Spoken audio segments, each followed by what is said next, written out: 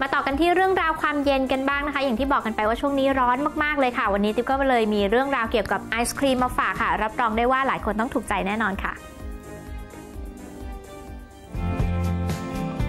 อากาศร้อนๆ แบบนี้นะคะ ทางเลือกในการดับร้อนของหลายคนคงไม่พ้นการดื่มน้ำเย็น แล้วก็ทานการทานไอศครีมค่ะ วันนี้ Hi So Happenings ก็เลยจะพาคุณผู้ชมนะคะ ไปพบกับไอศครีมสุดหรูที่เกือบจะได้ชื่อว่าแพงที่สุดในโลกของดูไบกันค่ะ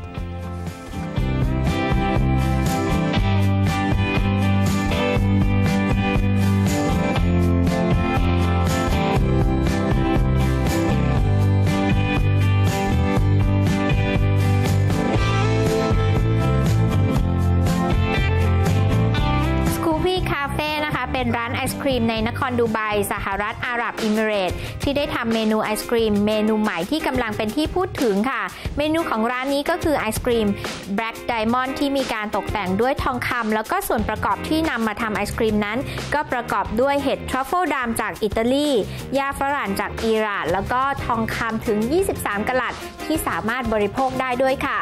การเสิร์ฟไอศครีม Black Diamond ก็จะเสิร์ฟมาในถ้วยกระเบื้องเคลือบสไตล์จีนของ Versace ราคาอยู่ที่ถ้วยละ 817 เหรียญสหรัฐ หรือว่าอยู่ที่ประมาณ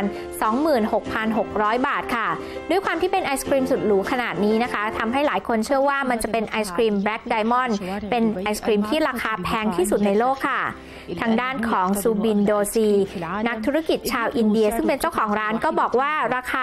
817 ดอลลาร์สหรัฐ ถือว่าถูกต้องแล้วนะคะ เมื่อเทียบกับวัตถุดิบที่นำมาผลิตเป็นไอศครีม Black Diamondเพราะว่ามีทั้งเห็ดทรัฟเฟิลดำหญ้าฝรั่นแล้วก็ทองคำค่ะ ซึ่งล้วนแล้วแต่เป็นของที่มีราคาแพงทั้งนั้นเลยค่ะสำหรับใครนะคะที่สั่งไอศครีมมาทานก็จะได้ถ้วย Versace พร้อมกับช้อนไอศครีมกลับบ้านเป็นที่ระลึกด้วยค่ะ23 يعد الأغلى في العالم بلغ ثمن القطعة الواحدة منه 3700 درهم أي ما يعادل ألف دولار تقريبا นอกจากจะดับร้อนได้แล้วนะคะไอศครีมเมนูนี้ค่ะ ถือได้ว่าเป็นไอศครีมที่มีศิลปะผสมผสานอยู่ แล้วก็ใครที่ไปทานนะคะ ก็จะได้ถ้วยเวอร์ซาเช่กลับบ้านไปด้วย ถือว่าราคาก็สมเหตุสมผลกับ ผลิตภัณฑ์ที่นำมาให้ทานนั่นเองค่ะ วันนี้นะคะเวลาของติ๊บแล้วก็ไฮโซฮับนิ่งหมดลงอีกแล้วค่ะ รับรองได้ว่าพรุ่งนี้นะคะ มีเรื่องราวดับร้อนแล้วก็เรื่องราวของเทศกาลสงกรานต์มาอัปเดตกันต่ออย่างแน่นอนค่ะ วันนี้ลากันไปก่อนสวัสดีค่ะ